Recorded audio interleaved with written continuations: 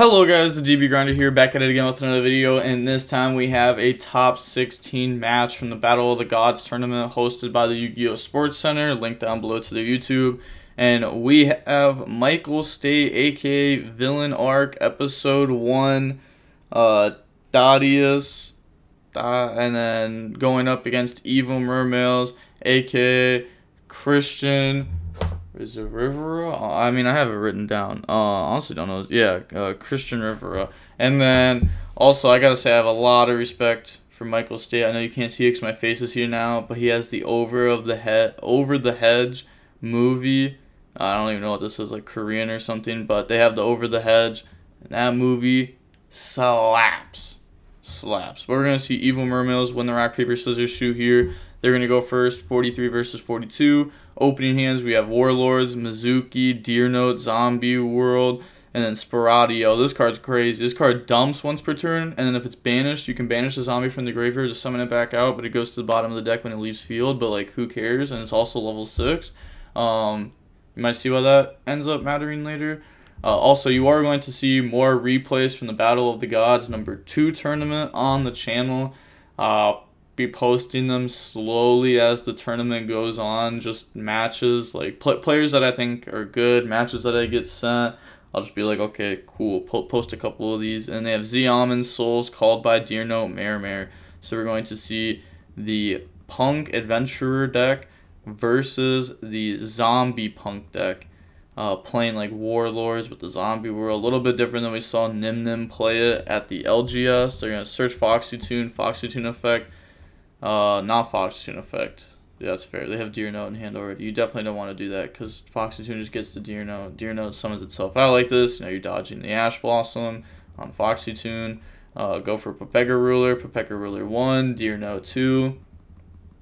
So summon back, mill 5, and then grabs Ogre. Also gets Destrudo in the graveyard, playing multiple preps, playing a lot of souls in their deck, probably a minimum of 6. And then turn those into Hulk. Hulk effect, and then Hulk is going to go ahead, bring out Red Rose, uh, activate Souls, dump Illusion, special summon out. Anything there? Nope, no nib. And then go for Herald of Arclight. Red Rose effect, summon Rocks Rose. Rocks Rose effect, go search out Basil Rose Shoot.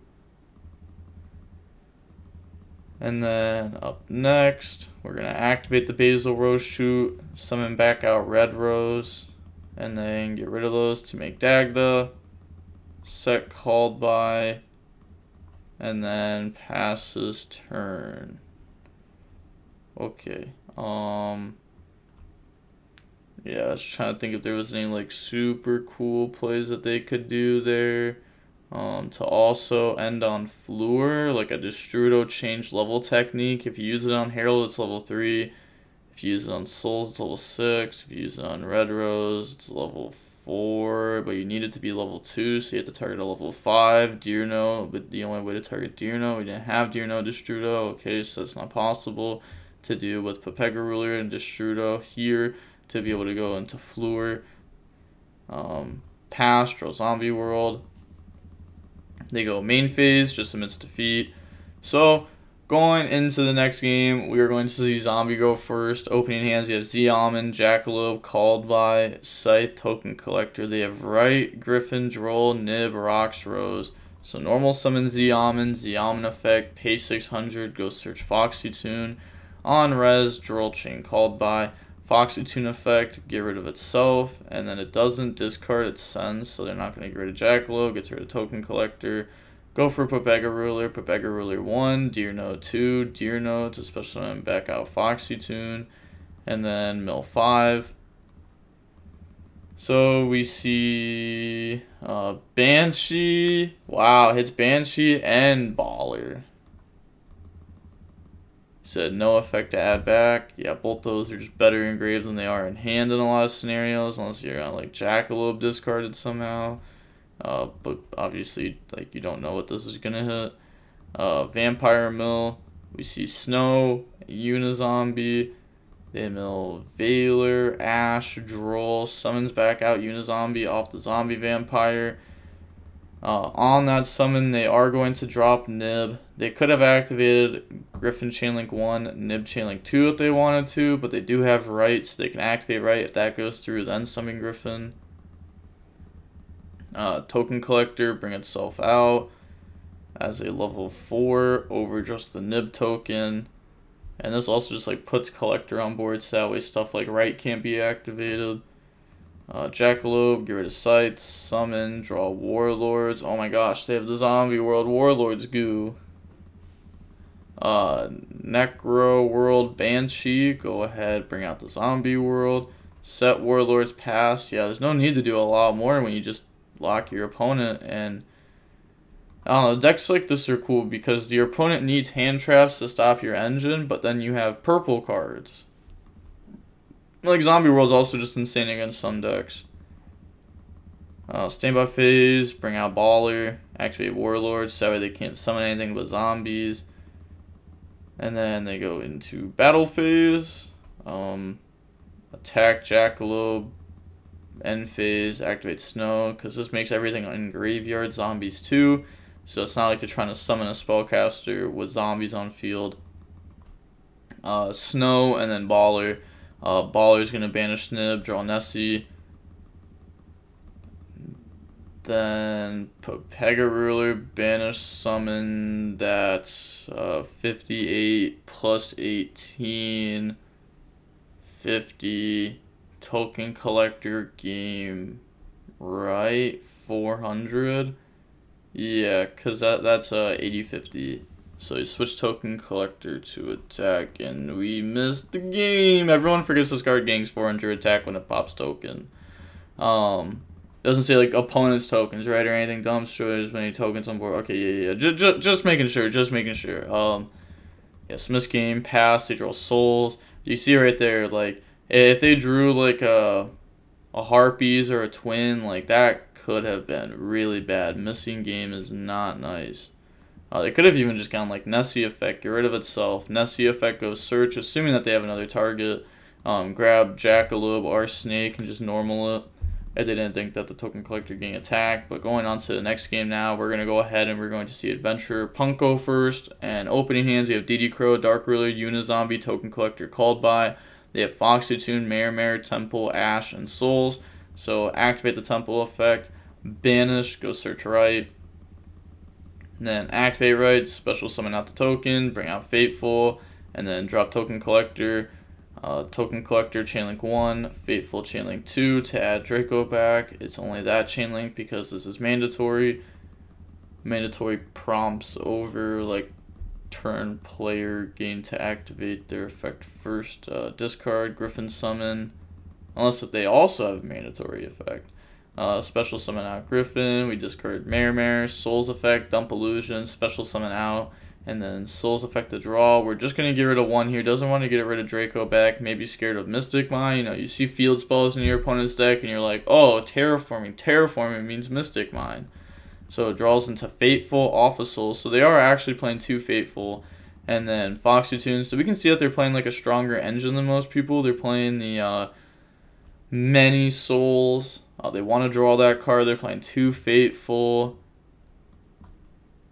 Uh, they're going to go Foxy Tune, get rid of itself and Fateful, bring out Ze Amin, Xiamen effect, pay 600, go search Deer Note. And then uh, go for Hulk. Hulk effect to summon. Hulk, bring out Red Rose. Red Rose, Griffin into Fleur. Red Rose, go summon and then we'll get the Rockstrose effect on the summon to search, grab Basil Roshoot, then activate Basil Roshoot. They're thinking in response because they could chain DD Crow to hit Red Rose, uh, bring that out, tribute summon for Deer Note, and then Deer Note, Rockstrose into Pepega Ruler, effects, summon back out Ze Amin, Mill 5, hit Scythe, Souls, Temple, could leave Scythe in Graveyard for Fleur. They're going to grab Souls. And then get rid of those. Go for Dagda anyways. Banish Light and Dark. Summon out Pepega. And then pass turn. Draw Scythe.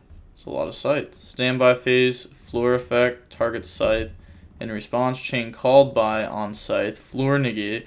They want to do called by first, then DD Crow because called by baits Fleur negate, and now their scythe won't be negated next turn because called by is negated, and we're banishing it with our DD Crow. Uh, they said Baron still goes, right? If you read over it, it says once per turn during the standby phase, you can target a level 9 or lower monster in your graveyard. Return this card to the extra, and if you do special summon that monster. So, yes, this would indeed return back, as it is going to try to resolve as much as possible in this scenario. So, it returns back. Normal summon Unizombie. Uh, they're thinking on the summon. They're to go Hulk effect, tag out, summon Formula, Formula effect the draw draws into illusion. Yeah, I don't like all of like how how many souls they're playing and everything because they're playing at least six. Unizombie effect target Unizombie. Um, depending on what they, I mean, they, they could have another synchro ten. Like, I mean, they could make Fleur. That's that's true, but it's not gonna do anything. Uh, they could make a different synchro ten though. They're gonna ash the Unizombie.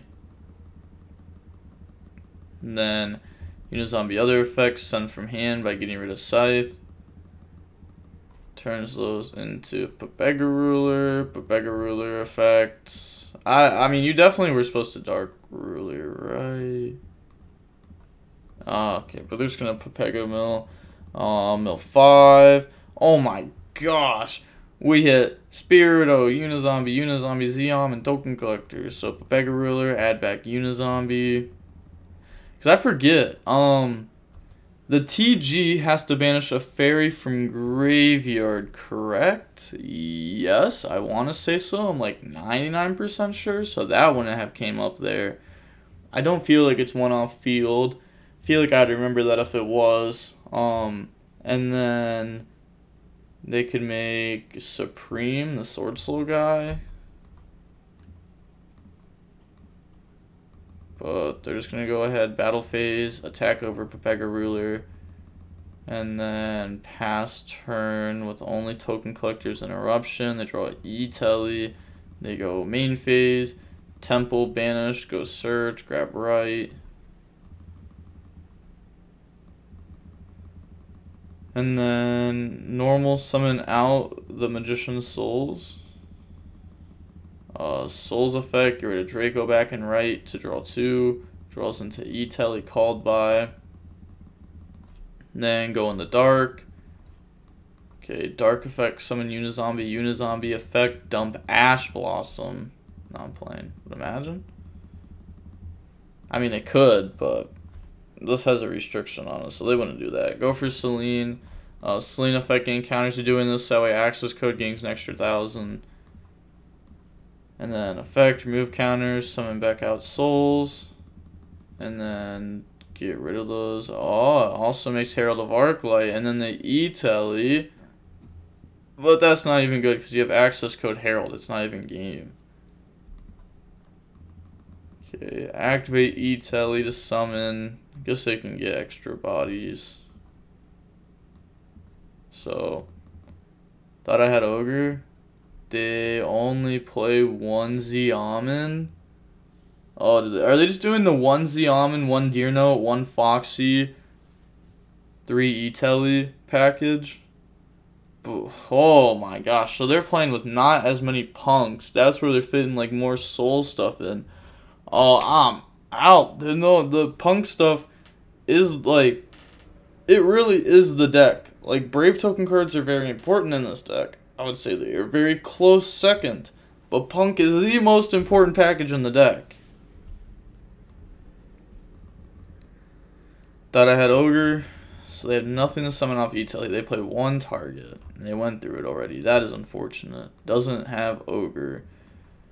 Uh, make access code, affecting attack. I mean, like, I don't know. This deck can play two illusion if you want to, but I don't think you play the prep then. Um, it's not even bad. Like, you play one illusion, one souls, or you could play two illusion, two souls. I don't think you play the prep stuff at all though. Uh, if you play two illusion, you know you always get the Herald Searcher. You can end on Herald pretty often, especially when you're playing the Mare Mare. uh, access code gang attack, access code pop, go into battle phase, attack for 53, and then we're going to set called by set e tally pass turn, they draw snow, go main phase, Pepega ruler effect, banish, banish, chain called by on it. They don't even understand though the fact that that was horrible. You're supposed to let Pepega ruler go through, right? And then you called by you and a zombie. Now that sounds also horrible because then you get how comboed. Um, they put themselves in a really bad spot. Because um, now they're going to activate their zombie effect. Banish Unizombies, summon it out. And then they can activate that effect. And that will go ahead and Foolish Burial, any zombie from the hand or deck to the graveyard, dumps Mezuki. And then normal summon Unizombie, Unizombie effect to discard. Discard Snow, target itself. And then go into Fleur. because that's gaining a level. That's why I said like that would come up. Um, ended up coming up there. Uh, Fleur effect, pop access code, battle phase. Yeah, and this is just controlling the game. Attack. It's very big. Uh, pass, draw Ash Blossom. And then they are going to set. Oh man, they're setting monsters. That's not good. They're setting Ash. Pass, draw Destrudo go main phase, Fleur pop, battle phase, attack, and then they can activate snow effect to attempt to go for a game here. Could have also Mezuki. Uh, I guess you can't Mezuki summon Unizombie for game there. Unless if you summon Unizombie, no, because if you use the effect to send from deck. Wait, they did that last turn though, right? Hold on. How did Mezuki get into grave? No, Mezuki got into graveyard through uh through uh, Spaceman. I forget his name. Uh, yeah, because if you use the effect to send from deck, then you can't attack with anything but zombies. So I brought that up earlier. I said, oh, go dark, dark effect send Ash, but like then you can't attack with anything but zombies. Uh, so GG's, GG's. Yeah, flipping the E-tallies. All, yes, all three E-tallies. Very close, very close to say, yeah. Um, but we're going to see that the match was about the 48 minutes long. And that was the top 16 match. It wasn't really top 16. It was kind of like top 24 because there was, I think, 32 players in the tourney, but eight of them had buys, so it was like top 24. But I'm just calling it like I don't even know. It was like the top, because like the top 24 and the top 16 just sounds so bad because you'll be like, what? How? So, I don't know. I'm just to call it top 16 to be honest. Uh, just let it ride. But with that being said, the DB Grinders signing off. Peace. Have a nice day. Stay safe.